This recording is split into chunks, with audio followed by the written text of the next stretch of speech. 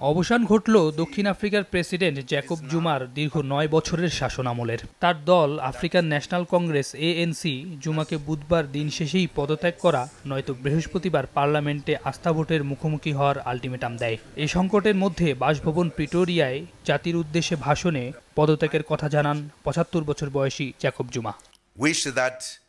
আমার দল আমাকে পদত্যাগ করতে সময় বেঁধে দেয়। অন্য রাজনৈতিক দল থেকেও একই আহ্বান ছিল। এভাবে পরিস্থিতি জটিল হতে থাকায় আমি পদত্যাগের কথা জানাচ্ছি। আমি চাই আমাদের সুন্দর এদেশ সুন্দর থাকুক বজায় থাকুক আইনের শাসন। টানা তিরিশ মিনিটের বক্তব্যে জুমা তুলে ধরেন তার শাসনামলের ভালো মন্দ নানা দিক। কণ্ঠে ছিল পরিকল্পনায় থাকা কাজগুলো বাস্তবায়ন করতে না পারার আক্ষেপ। I thank you very much. দুর্নীতি ও স্বজনপ্রীতির অভিযোগে জুমাকে সরিয়ে গেল ডিসেম্বরে দলের জ্যেষ্ঠ নেতা সিরিল রামাফোসাকে প্রেসিডেন্ট নির্বাচন করে ক্ষমতাসীন এএনসি পার্টি। তখন থেকেই চাপ ছিল প্রেসিডেন্টের পদ থেকেও সরে দাঁড়ানোর, যার দুই মাসের মাথায় পদ ছাড়তে বাধ্য হলেন জুমা। বিশ্লেষকরা বলছেন, রামাফোসাই হচ্ছেন দক্ষিণ আফ্রিকার পরবর্তী প্রেসিডেন্ট। এছাড়া দুই হাজার উনিশ সালে নির্বাচন হওয়ার কথা থাকলেও আগাম ভোট হতে পারে।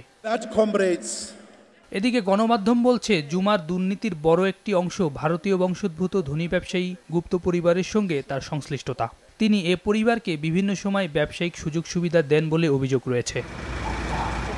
গত বছর ফাঁস হওয়া কিছু ইমেল থেকে গুপ্ত পরিবারের বিষয়টি প্রকাশ্যে চলে আসে। বুধবার এ পরিবারের তিন সদস্যকে আটক করেছে আইনশৃঙ্খলা রক্ষাকারী বাহিনী। সৈয়দ ইফতেখার, সময় সংবাদ।